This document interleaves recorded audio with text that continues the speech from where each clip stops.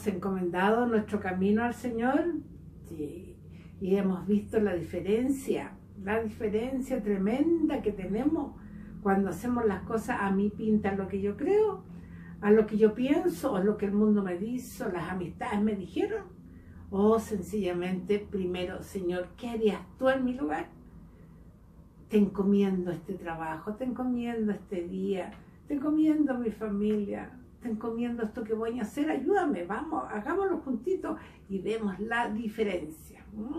Así que en estos salmos que estamos volviendo a ver, que nos están ayudando en este caminar, acuérdate que estamos en este caminar hacia el encuentro de nuestro amado Señor que va a venir José con María feliz a golpear la puerta porque sabe que ahí lo vas a recoger lo vas a reencontrar y lo vas a currucar y tu casita va a estar limpiecita.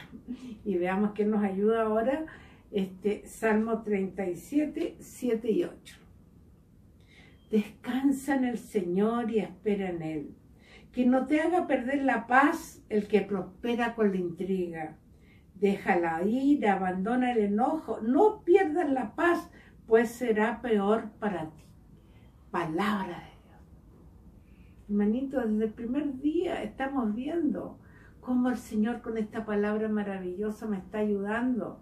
Con esta palabra que lo único que sabe es decirme, aquí estoy, te amo, yo te estoy poniendo ahí, escucha mi palabra, hazle caso. Déjala ir al enojo. ¿A qué te lleva? ¿A estar malhumorado, mal genio? ¿Todo a qué te lleva? ¿A algo positivo? Es destructivo, hermano. No pierdas la paz, pues será lo peor para ti. Cuando tú pierdas la paz, cuando estás enojado, pierde la paz. Estás intranquilo, molesto, todo el mundo, hoy retirémonos de ahí. Entonces, pidámosle, Señor, este enojo, ¿por qué me enojé? ¿Porque me dijeron algo que no? ¿Porque me llevaron la contraria? ¿Porque no me resultó lo que yo hice? ¿Porque me va mal? Señor, con mi enojo, te lo digo, porque así a mí me enseñaron y así me lo dijeron, Trini, con tu enojo, ¿qué sacas?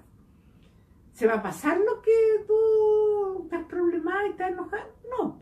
Y fuera de que no pasa, tu enojo agrega otra cosa negativa, otra inconsciente, otra falta de paz, otra ayuda para perder la paz. Así que, como decía, Descansa en el Señor y espera en Él lo mismo que decíamos antes. Si es todos los días lo mismo, hermanito. El Señor nos reclama todos los días, ojo, escucha mi palabra, que es la que te va a ayudar a salir adelante. Así que digámosle hoy día al Señor, Señor, ayúdame, ayúdame a enojarme menos, que nada me quite la paz, que mi paz no dependa, Señor, de lo que está alrededor, sino que mi paz dependa solo de la alegría que tú estás en mi corazón.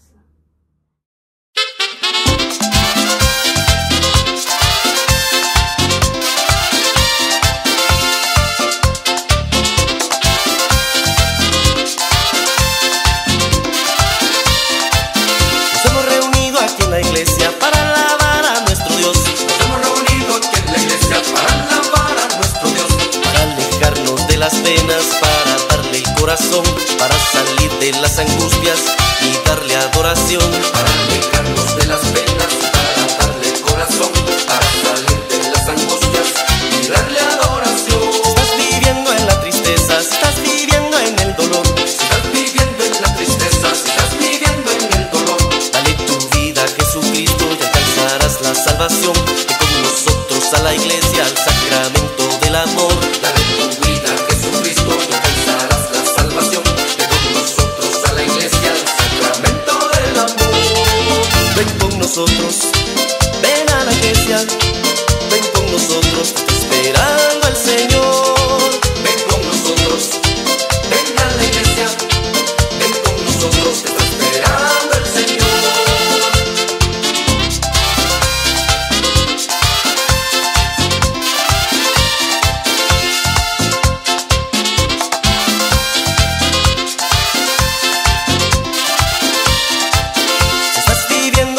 si estás viviendo en el dolor, Si estás viviendo en la tristeza, si estás viviendo en el dolor, dale tu vida a Jesucristo y salvación.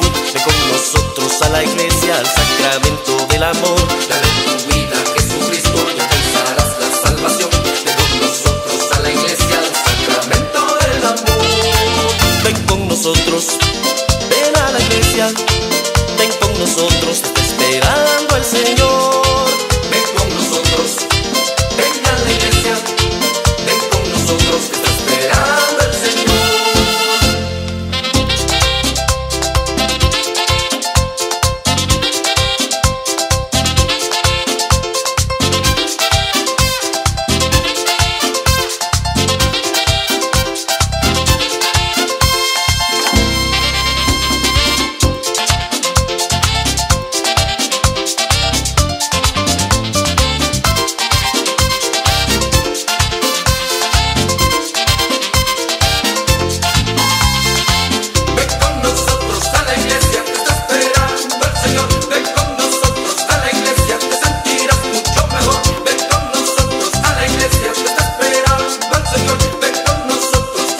Iglesia, te sentirás